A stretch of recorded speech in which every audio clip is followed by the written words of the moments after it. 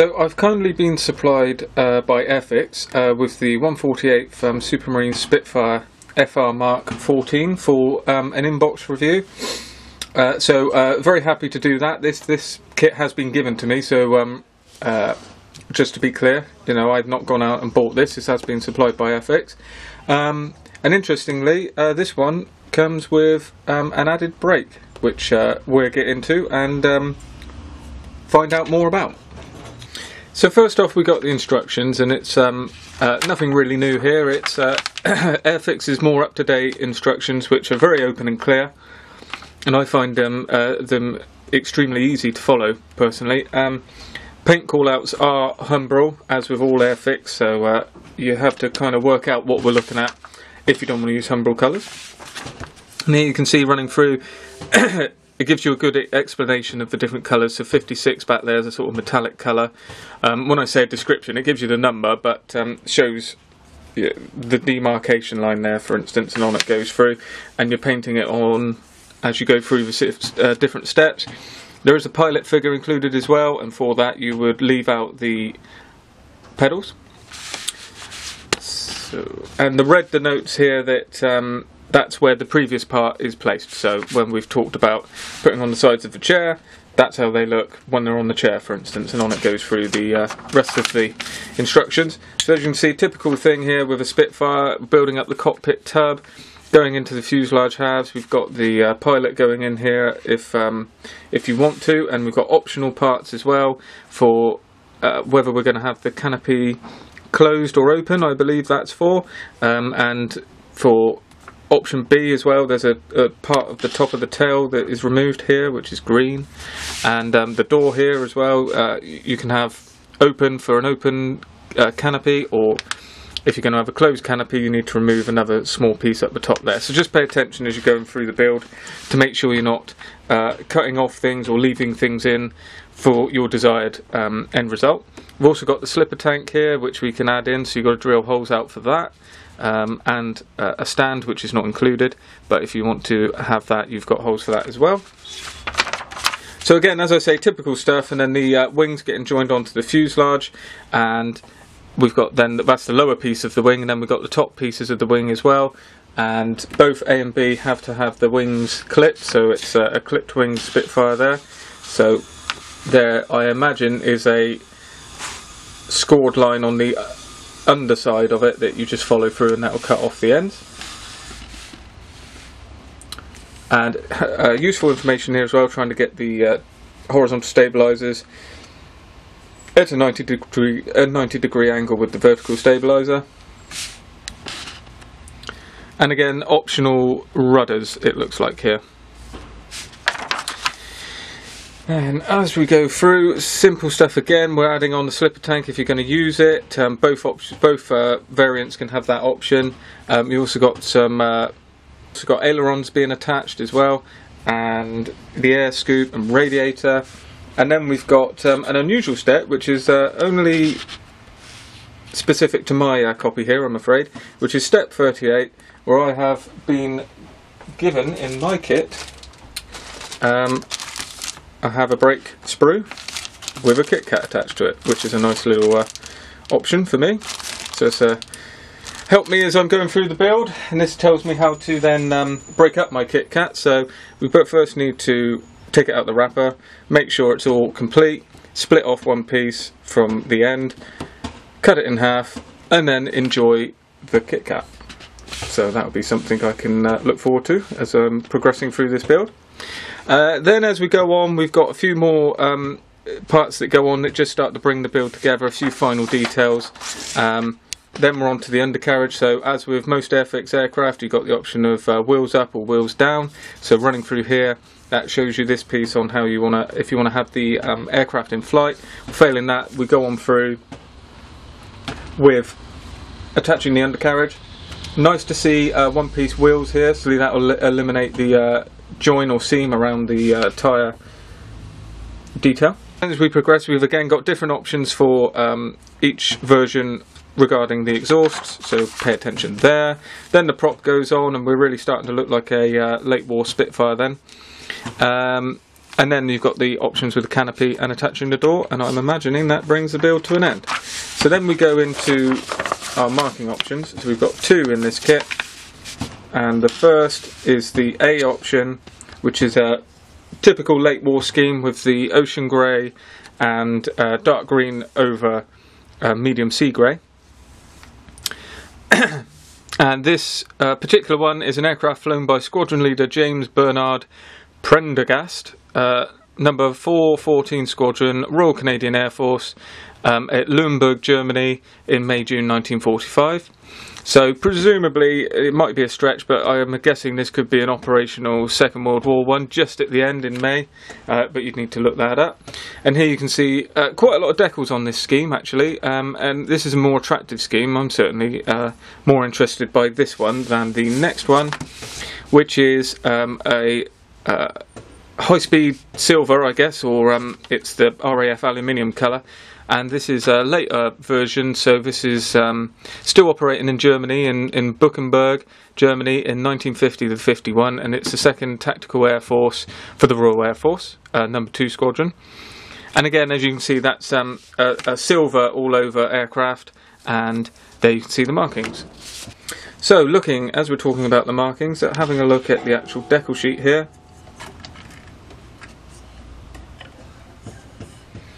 we can see that, that I'm finding each um, aircraft, I'm finding that each Airfix kit um, I come across is getting better and better actually re regarding the decals certainly. So uh, these look extremely well printed and they're very glossy, which is a nice plus. Oh, sorry, no, they have a satin finish. I must say, it's not glossy. Um, and they're extremely well cut around these letters. There is almost no carrier film around the V, C, and P there, uh, even in the centre of the P as well, which is really good. That's something that um, always tend to look for. Um, the middle of the O here is cut out, and then it's joined together uh, with carrier film for the one as well. So that's good to see. Uh, this here is one whole block of carrier film holding that together. I don't think you could probably do much about that. And again, well, everything's in very good register. The colour's extremely good, and using Airfix decals in the past, um, they tend to go down absolutely no problem. So I'm not expecting any issues there looking at those.